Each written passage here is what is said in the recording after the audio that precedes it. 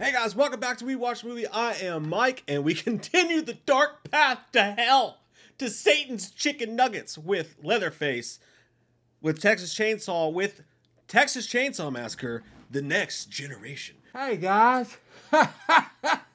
Woo shit pickles and tart pursuits. I don't know what fuck I'm saying man. Hey y'all now listen now. These fucking old movie reviews don't do jack diddly dick for goddamn views, alright? So if you like this, if you want to see more older movie reviews and stuff, just share this on your fucking Twitter space squares.com. Alright? It helps us. It does. Alright? Fucking shit shoes. Now, reviewing all the movies in this series, including a live stream Wednesday night for the remake, which Jay will do with me at 8 p.m. Eastern. So we'll see you guys there. This movie's fucking crazy, man. it's crazy. And my opinions of this are actually going to shock some people, I feel like. Uh, so. and this movie starts out, and it's just another just wild batshit entry in this wackadoo franchise. If you're looking for any kind of continuity in this franchise, you can just kiss that baby goodbye because there is none. Like, it's just, at this point, whatever's going on here, A, Leatherface is going to be in this bitch. All right? Leatherface is going to be surrounded by psychos and he's going to kill some people. All right? That's basically all there is. At this point, this this franchise is Ben Affleck in the town when he goes to Jeremy Renner. He's like, "Listen, I can't tell you what we're doing. I can't tell you why. I can't tell you anything, but we're gonna hurt some people." And he's like, "I'm in." That's basically us watching this movie at this point. Like, it's just forget the continuity. I believe continuity is what happens when some loser on YouTube keeps flapping off his fucking flap hole about some goddamn movie nobody gives a shit anymore. I mean, give goddamn girlfriend, man. You know what I mean? What's that, me? Y'all seen the clientele that walks around here? Shit, man, I wouldn't touch him with your dinghy. Deep in the heart of Texas. The movie came out in 1994. In the first half of this movie, they're just really laying on the cheese. Like, I mean, it's comedic. Uh, these teenagers are just the dumbest assholes ever. Renee Zellweger plays Ginny, who we're supposed to believe is some nerdy girl that just once she takes her glasses off, she becomes Renee Zellweger. But she's obviously going to be the final girl in this scenario between all these assholes who you just know are going to die. So they get in this wreck with these people. They are on foot and they they go to this this woman's office. Her name is Darla, and she's played by Tonie Perensky, and she's just fucking great. Uh, she's absolutely gorgeous, and she knows it. And she's sitting there, and she's got this boob job done, and she's just constantly talking to these kids. They're like, "Hey, we need help. What's going on?" She's like, "You know, when you have titties, everything is just great." that's basically her. At one, this movie's so stupid at this point that at one point someone like throws a golf ball or something through a window. Someone breaks the window and she's like, "They're always trying to see my tits," and she flashes them and she's like, "Fuck you guys!" And it's like, you're rewarding people for breaking your windows by showing them your tits. Shit, make you want to throw up your fucking spaghetti. Yeah, that's the kind of movie that we're dealing with this at this point. But I gotta tell you what, I mean, at this point, I was pretty bored. It's that typical like the first start to hatch it. Like, well, can we fucking get to it? Like, this is like some of it's semi funny, but I'm also just let's let's roll out fucking Leatherface now. All right, let's get into the shit. But, woo, buddy, Leatherface in this movie when he does show up, he is just a fucking treat. I mean, he's fucking wild, man. Like he has like three different versions of himself that show up. Uh, and you know, at, the start of it, he looks kind of like fucking Mick Foley. He's got these purple pants on and this army jacket, and he just he, he looks like a crust bucket Mick Foley, you know? And he shows up and he's just typical Leatherface. And then the next scene you see him, he's got he's dressed like a grandma. He's got like this old grandma uh, thing on. He's wearing this old lady dress. He looks like Mrs. Doubtfire, and he even changed like the mannerisms of his mouth and stuff. He's like, oh, oh, oh hello. he, he changes the way he acts depending on how he's dressed. And then by the end of the movie, when we get to the stupid dinner table shit, he's literally like doing his uh, goodbye horses, like, would you fuck me? I'd fuck me. Like he's not talking, but he's putting on makes uh, makeup in the mirror, and like he looks like somebody who would be in the off in like the audience at Oprah Winfrey. You can tell he's feeling very fancy about himself when he's dressed like this. He's kind of like, like I, I actually like enjoyed the fucking batshitness of Leatherface in this one. Like it had nuts, Steven. this shit's gonna have nuts in it. Hell, man, that's what I do when the cops come around sniffing around. I just bend over, spread my butt cheeks, I say a prayer. Yeah, by the time I get up, they're gone. Now, I don't know if that's just good luck, the good Lord's work, or maybe I just got a smelly butthole. but it fucking works. And I know some people fucking hate it, and if you you only want Leatherface to be just fucked up and scary running around with a chainsaw, I totally understand that. But they're after watching three movies in this goddamn franchise, them doing something that fucking weird, I was kind of into it. And you know what? He scared me even worse. He was very much at times more the screaming, freaked out, scared kid, child that he was in the first movie at times in this movie. Like at one point, the one dude who walks around just spouting stuff from books, he was annoying. He looks like the kid from the new guy, but he he has this cattle poker, poker or cattle electric electric stick that you poke cows' asses with. I don't know that he's walking around and he's just like hitting him with him constantly. And the way that you get let let and Leatherface has this really humanistic yell. Uh, the guy who played Leatherface in this, I thought was fucking fantastic. Like, I thought he was a fucking wild man. It was played by Robert Jacks. Uh, and one of my favorite Leatherfaces, honestly. I'm gonna be honest with you, man. It's one of my favorite in the franchise. I know that's fucking crazy, but it's because the wild steps that they took with Leatherface and, and Darla's character. I thought she was actually she was batshit fucking wild, but she was kind of kooky and interesting. It wasn't just some somebody like running around like they were uh, in a couple of the first early movies, like I'm redneck and gonna be fucking weirdo. Like there was different levels to her weirdness and craziness. And don't even get me fucking started on the unheralded, underrated, underappreciated performance by one Matthew goddamn McConaughey. Now I got 10 minutes or so into this review. I haven't even mentioned that Matthew McConaughey's in it yet. Matthew McConaughey is fucking awesome in this movie. All right? He's fucking awesome in this movie. He's scary as shit you can see that he's a great actor, like on screen, right there in front of your fucking face, man. You know, one of the kids he's about to kill is like, "What are you gonna do?" He's like, "Well, first I'm gonna kill you." He's like, "It ain't no fucking biggie."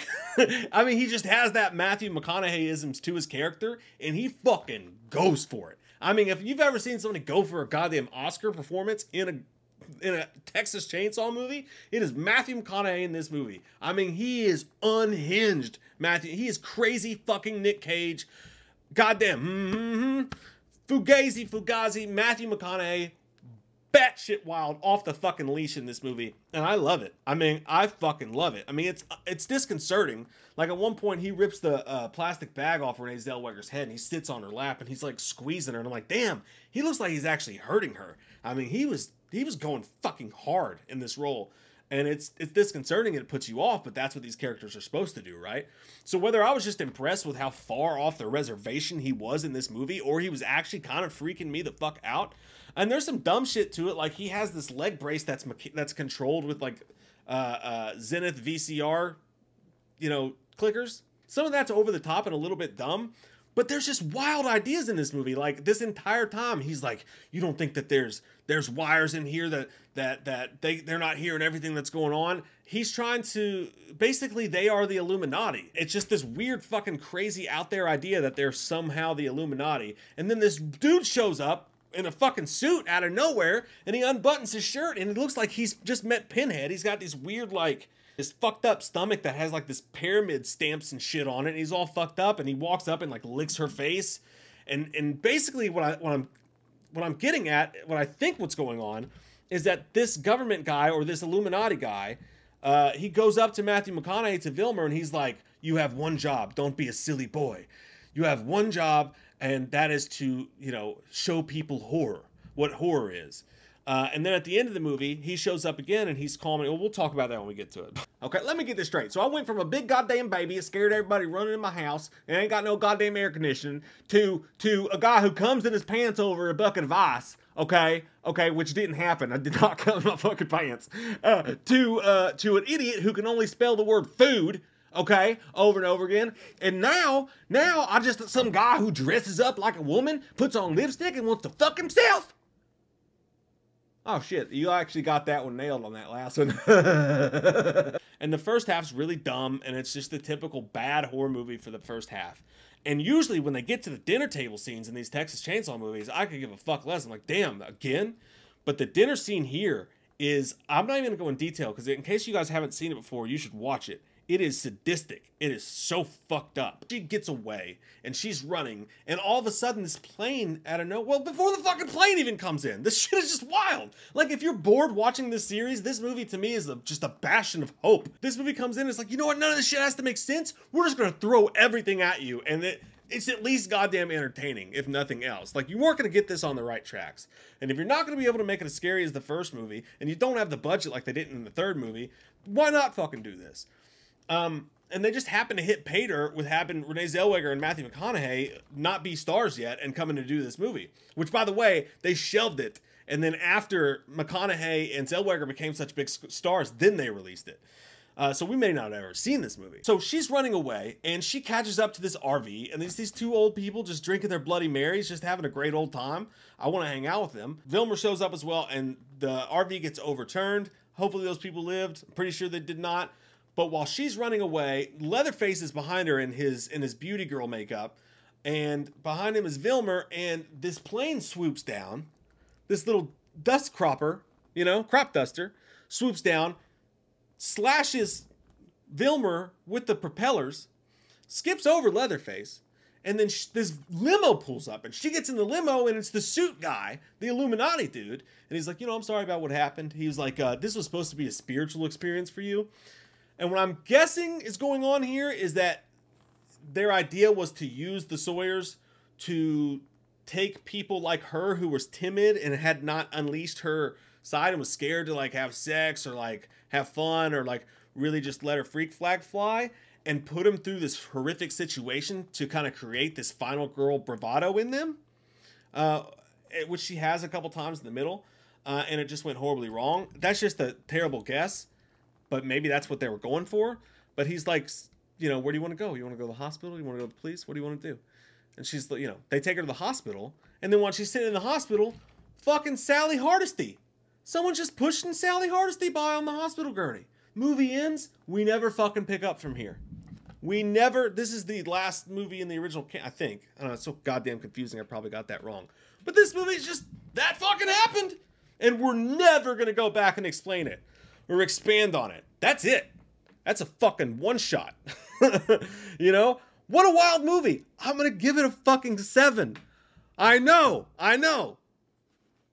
I know. I, I, know how much shit I'm gonna get in the comments from you guys down below. I know how much like fuck how crazy that seems, but I gotta be me, Jim Bob Joe. Uh, I gotta be me. This movie's a seven to me. Honestly, the second half of the movie I enjoy. I just enjoy watching that kind of fucking go for it acting, man and it just had some cuckoo, crazy potato chip, fucked in the head ideas. Uh, and I, I gotta, I gotta, I gotta be honest with you. I enjoy, I enjoy the next generation. So it's like pulling up to a McDonald's drive-through so fucked up on peyote and Percocet shooters that instead of asking for French fries, you're asking to fuck guys. Which there's nothing wrong with that. I wish that they wouldn't put the club I like to go to on the same corner of the McDonald's I like to go to. You know what I mean? I mean, shit. Probably not even sanitary shit goes on in that building. You'd fucking hate to see it next to your goddamn Big Mac and chicken sandwich. uh, yeah, uh, we got a 9.5 for the original, right? We got a 2.5 for part two, or maybe it was 3.5. We got a 5.5 for part three and a 7.5 for the next generation.